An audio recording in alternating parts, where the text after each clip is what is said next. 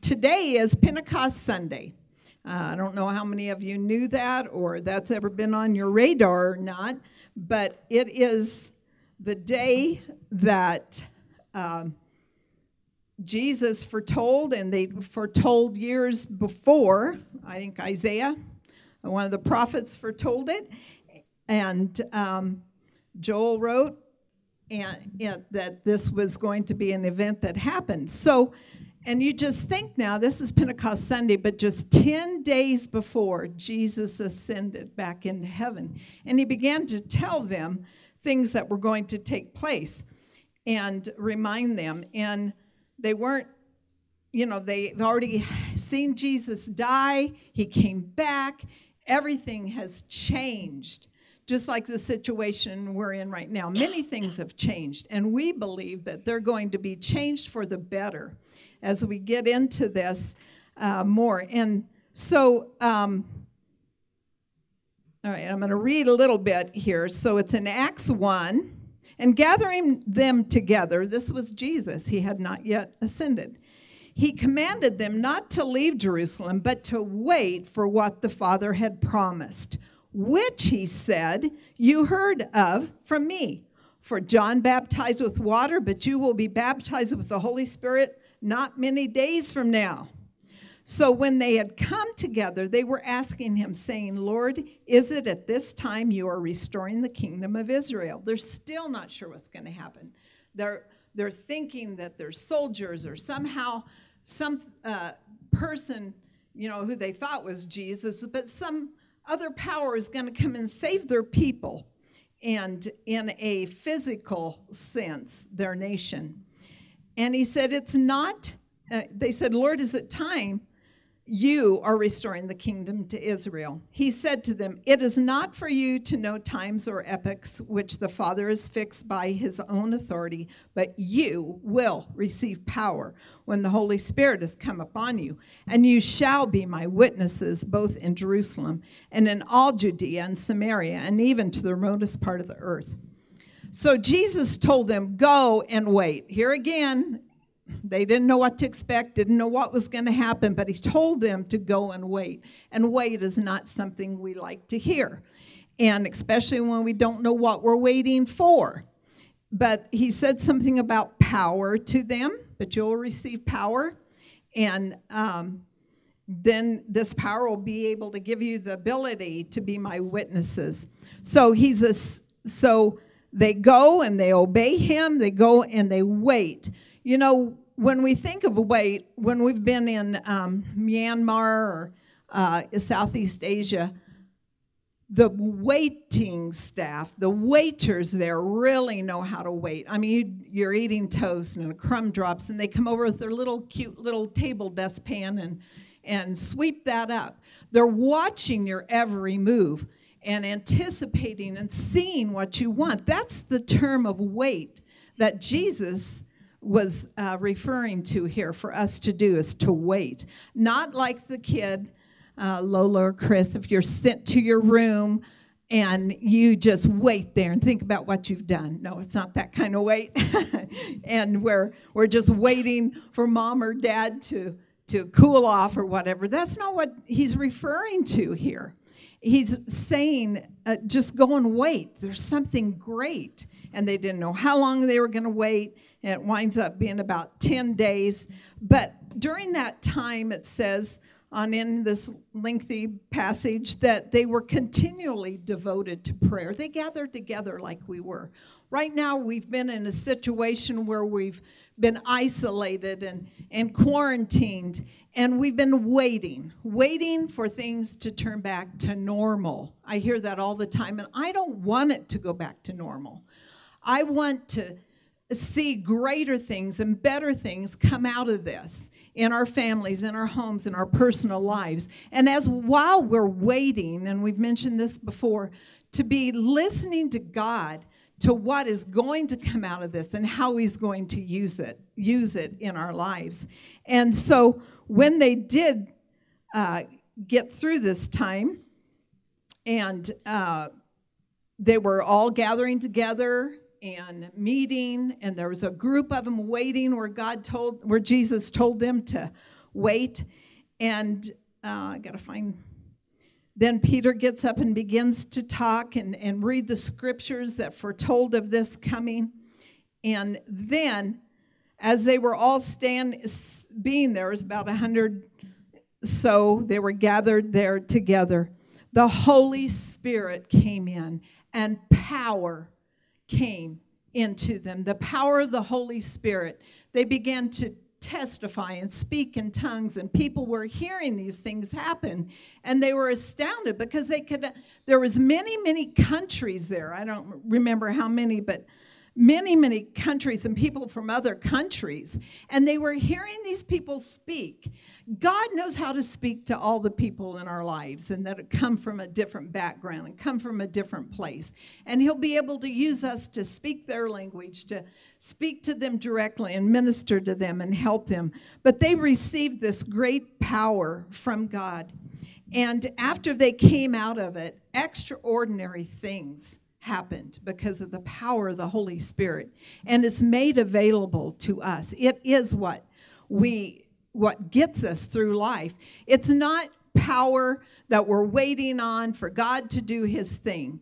It's the power we're waiting on to come on us for us to do what God wants us to do, to do the thing that he has for us to do, not just to give us the ability to do our everyday little things, which he's going to, to help us get us through our struggles. But there's something He has for you to do, and He's given you the power and the ability to do it through His Holy Spirit. He will guide you and comfort you. So, out of this, extraordinary things came on that day of Pentecost.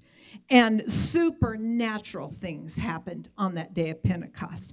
Powerful things happened. And I pray that for each of us as we're coming out, as we've waited on the Lord, been able to spend time in His Word and, and reflect on how we want things to be and how we want our life to uh, look in Him. And we want those extraordinary things to happen uh, coming out of this. We want to see supernatural things happen in our government, in our community, in our workplace, in our lives, in our health we're believing for supernatural health and supernatural thing. And we want powerful things, the things that we set our hand to, to be powerful. But to have spent time with God and find out what He has for us to do that will be so powerful in the lives of others and in ourselves because we're not just created to serve ourselves, but to serve others. So that's what I'm thinking of on this Pentecost Sunday. And, I pray that you allow that Spirit of God, that ho- His Holy Spirit, to fill you to overflowing, that you see these extraordinary, supernatural, powerful things take place in your life.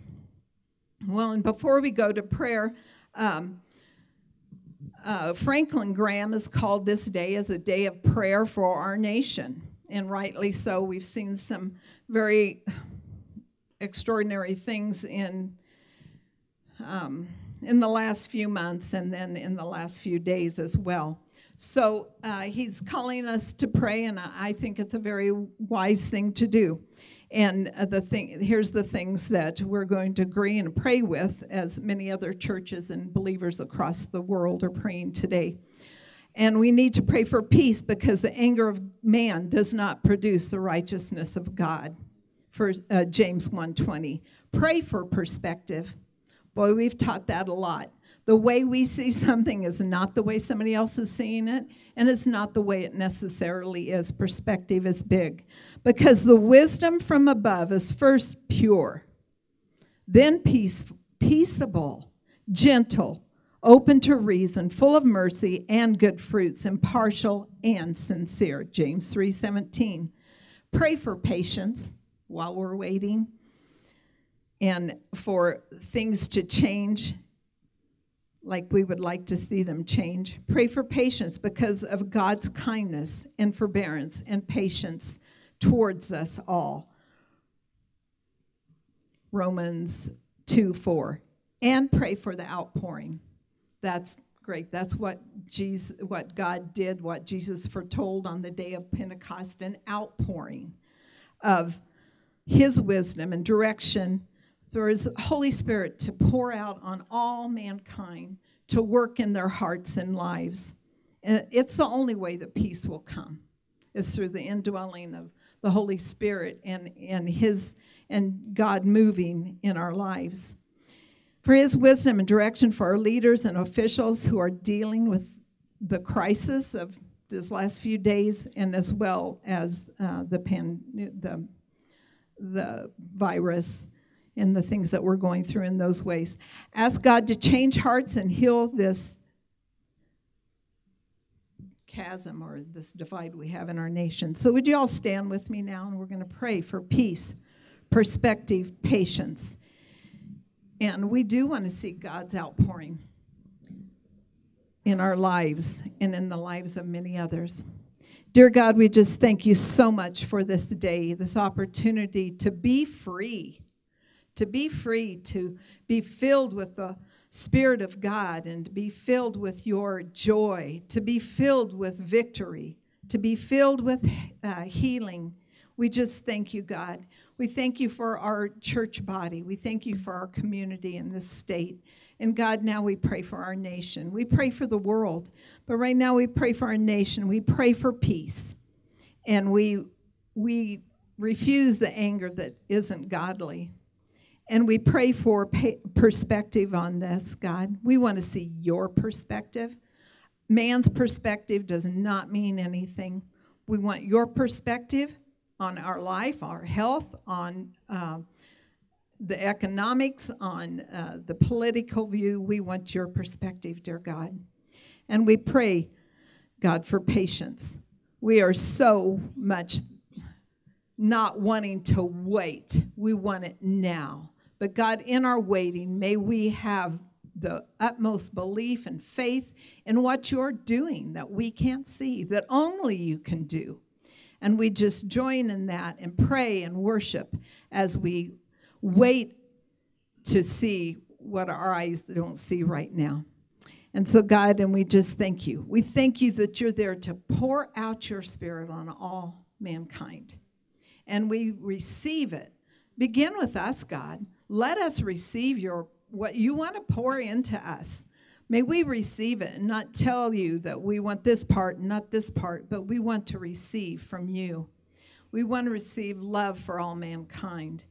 And we pray for this outpouring in this uh, community and in our nation, God. We watch and we wait with anticipation to see your wonderful, marvelous works. In Jesus' name we pray. All right, we'll receive the tithes and offerings right now. God bless your Pentecost Sunday.